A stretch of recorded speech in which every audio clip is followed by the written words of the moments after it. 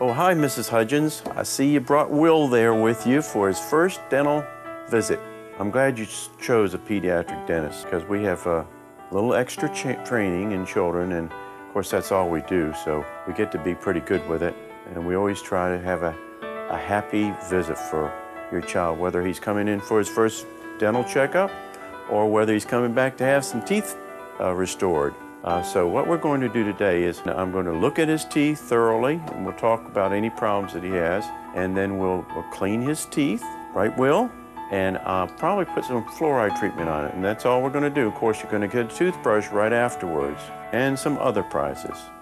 When I was Will's age, I came to Dr. Al, my pal, for the first time and I decided I liked him so much I wanted to work for him.